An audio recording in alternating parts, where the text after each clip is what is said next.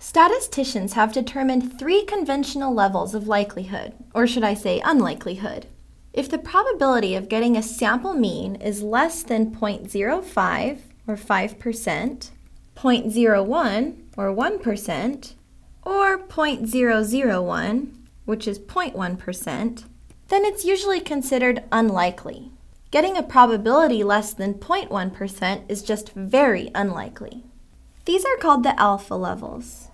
Now let's just take a quick quiz to make sure you understand what alpha levels are. Let's focus on an alpha level of 0.05. Which of the following are true? If the probability of getting a particular sample mean is less than alpha, it is unlikely to occur.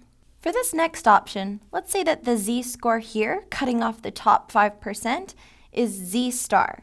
If a sample mean has a z-score greater than z star, it is unlikely to occur. Your third option is if the probability of getting a particular sample mean is unlikely, the sample mean is in the orange region.